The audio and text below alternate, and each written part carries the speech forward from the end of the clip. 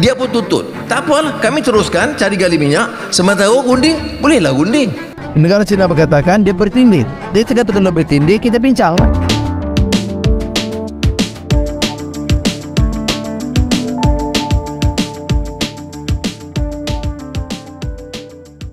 Anwar Pro Penceroboh Perdana Menteri Datuk Seri Anwar Ibrahim di Dewan Rakyat pada 4 April lalu menyatakan keterbukaan Malaysia untuk berunding dengan China mengenai isu perairan negara yang merupakan zon ekonomi eksklusif negara Malaysia. Menurut laporan Ketua Audit Negara pada tahun 2018, rondaan kapal pengawal pantai China ini dianggap sebagai satu pencerobohan. Laporan itu menulis, China telah menceroboh kawasan Beting Petinggi Andi yang menjadi kawasan operasi Petronas Jari Gali sebanyak 89 kali. ada kontroversi laut China Selatan China tuntut kita kata itu hak kita. Jadi bagaimana saya nak jawab? Ketua bukan ketua pembangkang. Pembangkang kata mana boleh? Kita jangan terima kita lawan. Ha, dia nak ajak kita perang dengan negara juga apa pendidikan saya? Saya beritahu kepada presiden. Presiden Petronas telah mula kirim pelantar terbesar untuk cari gali di Laut Cina Selatan. Dan saya nak maklum kepada Presiden supaya faham pendidikan kita. Kita terpaksa teruskan dengan projek cari gali itu. Baik. Ni sudah fikir ni. Perdana Menteri Malaysia bercakap dengan Presiden negara China tu. Bukan mudah. Kena selawat tujuh kali juga. Baik. Tetapi oleh kerana dia menyebut tentang tuntutan China, jadi saya jawab, saya kata baik, pasalkan kami teruskan projek ini, dan minta laluan, kita terus juga. Kerana negara China kata dia tuntut juga. Okey. Sementara itu kita boleh runding. Tapi perundingan itu tidak menghalang projek kita diteruskan. Kita boleh jawab, saya tidak sedia runding. Saya akan kap, saya akan hantar sampan-sampan dari Pulau Pinang. Tak boleh lah. Nak cakap dari segi ya, politik dah dapat tepukan tapi yang tidak masuk akal. Jadi lebih baik hubungan kita itu baik dengan negara China. Sebab tu saya masa pergi Hainan bawa dialog itu, saya sebut apa yang saya rasa tertarik dengan pandangan Xi Jinping. Dia sebut pertama, fokus kita mesti pembangunan ekonomi supaya dapat kita meratakan. Kedua, kita menjaga keselamatan, security supaya jangan ada perang saudara, jangan ada perang di antara jiran dan kita fikir soal keselamatan. Yang ketiga, kita mesti tekankan soal manusia ini bukan saja politik dan keselamatan dan juga kemanusiaan dan tamadun, pembinaan peradaban. Jadi saya kata bagi saya pandang-pandang ini tidak bercanggah dengan pendirian kita. Dan lebih tertarik saya kerana pemimpin negara yang bicara soal tamadun dan peradaban. Bukan soal saja soal makan minum dan pertumbuhan ekonomi. Jadi pada menemui beliau, beliau ulang tentang prinsip beliau dan beliau kata "Hmm, Prime Minister Anwar ini dalam beberapa aspek selari dengan Malaysia Madani. Wah, saya dengar ni Jinping cakap Madani, saya pun semangat juga. Hmm. Inilah maknanya kita hubungan baik. Bila pada syarikat-syarikat besar, syarikat gergasi negara Cina itu tahu sikap pimpinan dia, bila besok yang saya panggil kepala-kepala syarikat yang besar-besar, itu mereka datang. Itu yang terkumpul itu, saya cakap yang net worth itu trilion ringgit lebih. Trilion dollars. Jadi saya gunalah sedaya upaya saya memujuk mereka. Datang. Orang kata, oh nanti nak Cina akan takluki kita. Cina takluk kalau pertama, kalau kita ni bodoh. Keduanya kalau kita ini memang jenis manusia yang lemah. Dan pengemis. Tapi kalau kita jaga maruah kita, integriti kita, bangga dengan negara kita, pertahankan kemerdekaan kita, kita persilakan mereka dengan syarat kita. Surah Kuan Ing lebih faham tentang ICRL dan masalah-masalah. Tapi pengalaman itu mengajar kita. Itu beda kita dengan dulu. Kadang-kadang dulu ni masalah nak commission. Runding, runding, runding, commission, commission. Bawah meja, atas meja, tepi meja. Jadi ini syarat. Apa syarat kita? Jili masuk automotive city besar 230 bilion mula untuk Tanjung Malim.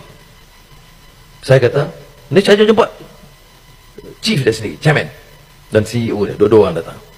Saya kata terima kasih. Kita akan bagi apa saja kemudahan yang perlu untuk percepatkan proses. Tapi you nak sekarang ke- kerja berapa? Dia kata 4 ribu. Saya kata mesti cari anak tempatan. Kalau dah betul tak boleh, kita akan percepatkan proses kemasukan orang lain melalui Kementerian Dalam Negeri. Tapi syarat itu saya tetapkan. Bagi negara China, mereka percaya kepada satu konsep yang dikenali sebagai sembilan uh, titik garisan ataupun nine dash line. Nine dash line ini menjadi uh, dia punya daripada tradisi lah, daripada sejarah-sejarah yang dulu. Uh, kalau melihat kepada peta yang uh, di, dibuat oleh negara China, nine dash line ini yang meliputi sejauh 1,500 km daripada tanah besar China adalah kawasan mereka sampailah ke sempadan perairan kita di di Malaysia ni di lautan uh, China Selatan. Jadi mana mungkin kita setuju? Kita pegang kepada uh, kepada pendirian yang kita buat berdasarkan kepada undang-undang antarabangsa terutamanya United Nations uh, Convention on the Law of the Sea UNCLOS uh, yang mana kita anggap bahawa EEZ ini kawasan kita. Ya, tetapi bila PMX kata uh, buka untuk rundingan Of course, Ya. Syarif boleh nampak lah. Boleh nampak. Macam mana nak masuk kat situ. Memang walaupun dia ba- ada. ya, walaupun dia bagi statement kata no ini bukan kita tak nak perang, kita nak bincang, kita bincang dalam diplomasi itu yang dimaksudkan. Tetapi poin saya di sini adalah jika uh, boleh dielakkan kenyataan yang buka ruang untuk uh, serangan uh, lebih baik. Saya rasa uh, saya faham konteks PMX tetapi dari segi Stratcom ini mengundang masalah bagi beliau. Ya. Baru-baru ini, kapal China Dayang Hao telah mencerobohi zon ekonomi eksklusif Malaysia di perairan Sabah. Ini bukan kali pertama kapal China mencerobohi perairan Malaysia. Satu tindakan yang jelas mencerminkan pendirian China menuntut kedaulatan di Laut China Selatan. Saya tidak berhasrat uh, merungkai uh, betapa tidak masuk akal tuntutan China tersebut. Saya hanya berharap kita meningkatkan kapasiti keselamatan maritim negara kita untuk mempertahankan kedaulatan Malaysia. Erti peningkatan kapasiti ini bukan sahaja melipatkan tentera laut di Raja Malaysia. Ini juga melipatkan agensi kerajaan lain seperti Agensi Penguatkuasaan Maritim Malaysia APMM, Jabatan Perikanan dan sebagainya.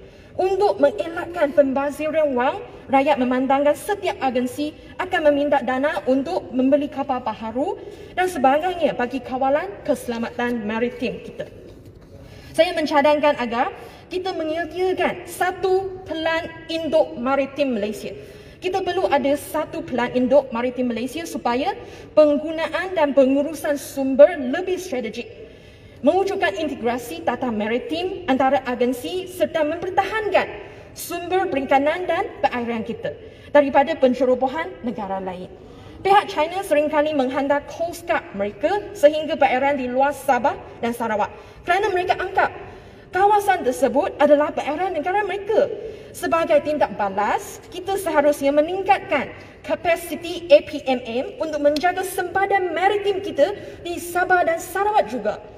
Selain itu, kementerian terlibat seharusnya menjelaskan apa tindakan telah diambil setiap kali atau uh, ada aktiviti pencerobohan kapal kerajaan negara lain dikesan di perairan Malaysia. Sikap terus mendiamkan diri ini tidak akan menguntungkan kita dan hanya akan dianggap sebagai senang dibuli. Okey, Laut Cina Selatan ini merupakan satu konflik yang tidak pernah selesai sehingga hari ini. Ya. Terutamanya yang melibatkan negara China. Yang klaim apa saja di Laut Cina Selatan adalah hak mereka. Kerana namanya Laut Cina Selatan.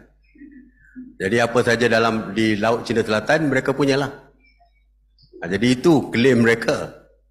Ya, tuntutan mereka. Nasib baik Malaysia tak kata apa yang ada dalam Selat Melaka semua kita punya. Tak, ya. Kita ada undang-undang antarabangsa. Tetapi oleh kerana melibatkan kuasa yang besar, walaupun tuntutannya tidak menasabah, kita sebagai sebuah negara ASEAN, kita cuba selesaikan melalui rundingan. Kita selesaikan melalui rundingan. Tuntutan mereka dihingga sampai ke Sarawak. Kawasan yang mereka tuntut letaknya 80 batu nautika daripada Sarawak. Sedangkan kedudukan negara China dengan pulau yang mereka tuntut tersebut beribu-ribu batu nautika jauhnya. Dari segi logik, tidak Sabah langsung mereka menuntut kawasan di Sarawak tersebut. Tapi mereka tetap menuntut. Dan mereka tidak mengiktiraf keputusan yang dibuat oleh Bangsa Bersatu dan sebagainya mengenai tuntutan tersebut. Tapi seperti saya kata tadi bahawa setakat hari ini tuntutan diselesaikan secara rundingan oleh negara masing-masing.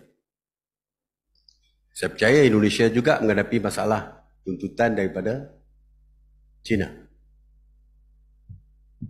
Singapura ada dan ada pelbagai tuntutan negara-negara lain walaupun tidak banyak termasuk Filipin juga mempunyai tuntutan bertindih dengan China. Cuma cara penyelesaian ketika ini adalah Malaysia menguruskan tuntutan Malaysia secara sendiri. Indonesia mungkin menguruskan tuntutan secara sendiri, Filipina secara sendiri.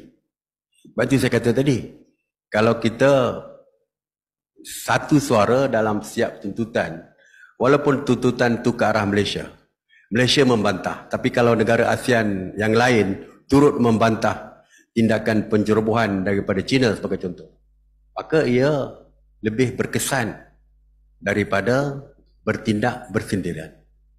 Sebab itu saya sebutkan tadi bahawa kalau kita menjadikan semua negara kita di ASEAN ini sebagai satu keluarga ASEAN dan keluarga ini cubit peha kiri, peha kanan juga terasa. Itu di dalam Melayu. Di Indonesia ada.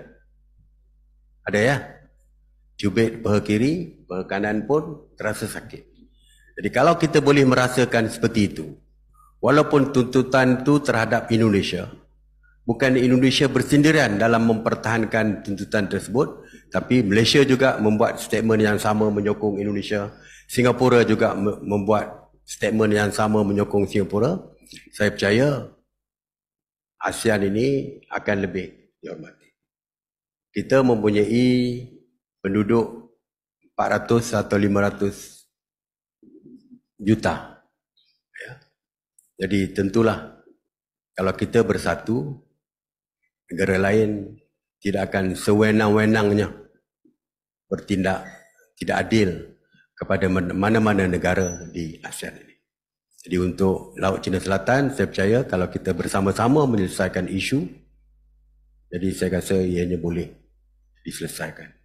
Kalau tidak sepenuhnya, sekurang-kurangnya mengurangkan permasalahan yang timbul hari ini. Terima kasih.